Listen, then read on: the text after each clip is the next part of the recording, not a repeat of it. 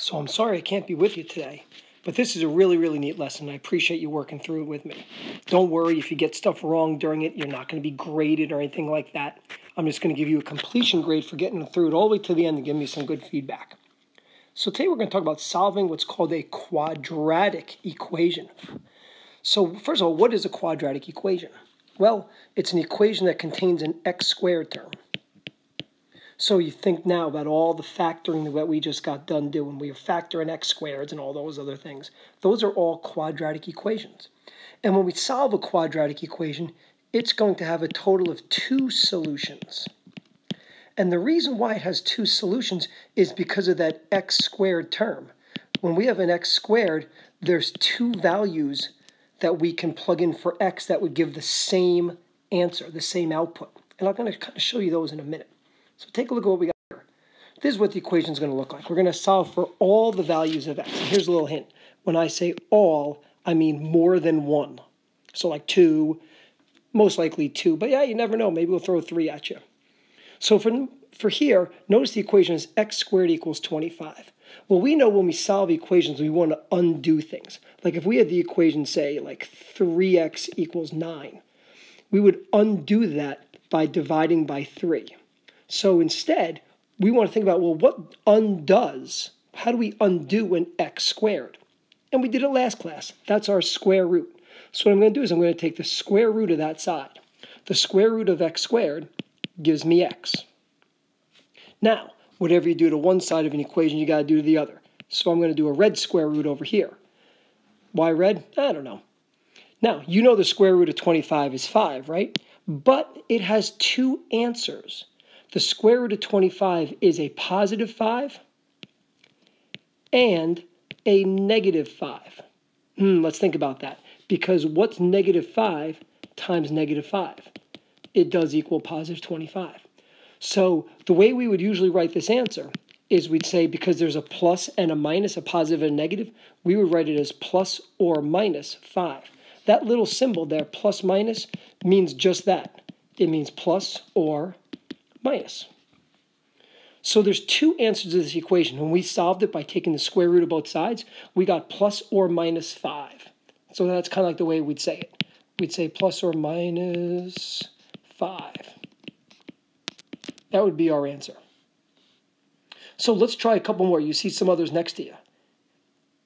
And I got to be honest with you. I'm trying to trick you on a couple of these. So first of all, let's solve for the the top one, x squared equals 49. We'll do the same thing. We'll take the square root of both sides. The square root of, of x squared is x. The square root of 49 is 7, so we're going to say it's plus or minus 7. Now, the second one is a little tricky, or the next one is. If we take the square root of both sides, okay, the square root of x squared is x, but here's a problem.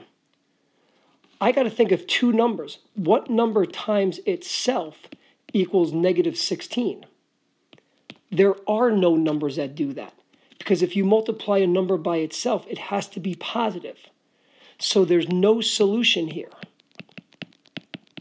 There's no solution because x squared can't equal negative 16. Later on in math, we'll make solutions. Like you're talking like two years. Ask Mr. Baker about that later on.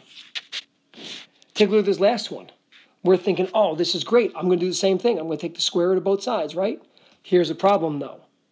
How do you take the square root of 9x? What does that equal? Who knows? I mean, the square root of 9 is 3, but the square root of x, uh, I don't even know what x is. So that has no solution either. Well, it will have a solution. I shouldn't say that. I'm going to cross that off. But we'll talk about how to solve those later on. Okay, so we'll put later for that. So we're solved by doing square roots. That's the fun part. Take a look at our next couple. And I know what you're saying. You go like this, oh no, I'm scared. Why are you scared? Because 24 is not a perfect square. But that's okay. That doesn't stop us. We take the square root of both sides. I got something squared equals 24.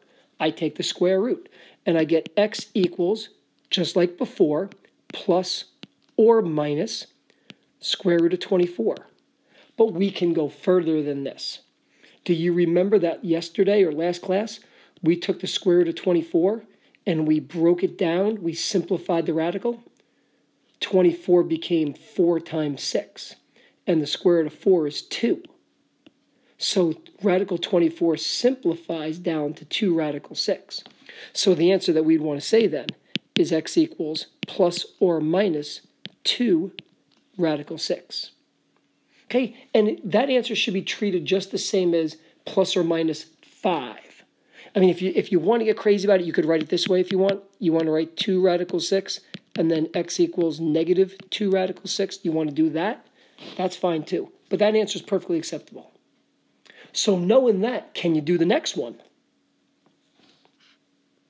So we take the square root of both sides like before. We're going to get that x equals plus or minus the square root of 54. And ha ha, can we simplify it? Let's think of two numbers that multiply to 54. How about 9 times 6? And the square root of 9 becomes 3. So we get 3 radical 6. So our final answer then is plus or minus 3 radical 6. And we are happy. Yay! So let's keep going. We're having fun. I know you're looking at the next ones already wetting. I can see it. But think about what they say. They say that something squared equals 64. Well, how do we undo squaring? We just square root it. So let me see, where's my eraser? Here we go. Let's erase all that for a moment. So I'm going to do the same thing I did before. I'm going to take the square root of both sides. Now, just like before, where the square root of x squared was x, the square root of the square of x plus 1 is just x plus 1. It's just going to be whatever's underneath or whatever's in the parentheses. And the square root of 64, remember, is 8. It's a positive 8 or a negative 8. So this is where the fun begins because we are not done solving for x yet. So I have to now subtract 1 from both sides. But notice what I'm going to do here. Because the 8 is positive and negative at the same time, my answer is going to be negative 1 plus or minus 8. So let's think about those answers then. One of them could be negative 1 plus 8. One of them could be positive 7. And the other one could be negative 1 minus 8, which is negative 9. So those are our two answers, x equals 7 and x equals negative 9.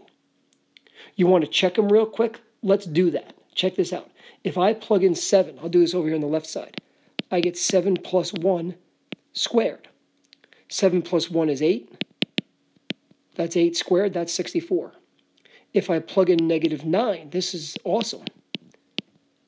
Negative 9 plus 1 is negative 8. And when you square that, you still get 64 and you are loving life. So can you follow what you just did above to get the two values of x for the next one? Go ahead, I'll wait. Alrighty, let's check it out. Bam, bam, square roots. So I'm left with x minus 3 equals, yep, plus or minus the square root of 36 is 6. So let's add 3 to both sides. Notice I'm not adding it directly to the 6 because it's either going to be 3 plus 6 or 3 minus 6. Do you want to figure out your two answers? Let's do that. So one of them is going to be 3 plus 6. One of the answers is 9. And the other answer is 3 minus 6, or negative 3. Those are our two answers. And if you want to check them, you can. They should be right. Cool, man. Well, let's keep rocking and rolling. Here we go. Same thing. Oh, but 18. But you know what to do if it's not a perfect square. See if you can tackle this one. So we take the square root of both sides. We're going to get x minus 5 on one side. We get plus or minus radical 18. Now, do you want to add that 5 over? Sure, you can do that. Do you want to break down the 18 first? Yeah, let's do that. I like simplifying radicals. So 18, let's see, how about 6 times 3? Nah, that's no good. How about 9 times 2? That's good because 9 is a perfect square. And the square root of 9 becomes 3, and we get 3 radical 2. So my answer then is x minus 5 equals plus or minus 3 radical 2. Now, check this out, though, because when I add my 5 to both sides, I can't add the 5 to the 3 because the 3 is being multiplied by the radical 2. So literally, my answer is just going to be 5 plus or minus 3 radical 2. Yeah, it looks a little different, but that's how it is. I mean, think about if you got an answer of like 5 plus 3y. You wouldn't say 8y. That would be bad. That would be bad. So we just got to leave it as 5 plus or minus 3 radical 2. Do you want to write it twice? Do you want to write it as x equals 5 plus 3 radical 2? You can do that. Just make sure you write the other pair, or the other one, 5 minus 3 radical 2. Pretty neat stuff. So we solve these, these, these quadratic equations by taking square roots. So check out our one last one. Little word problem.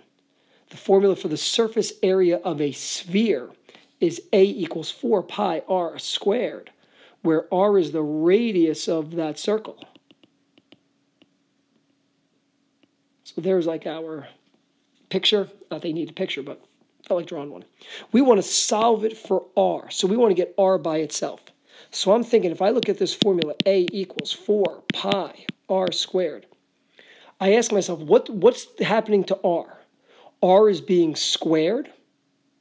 Okay, so r is squared. And then it's multiplied by 4 pi.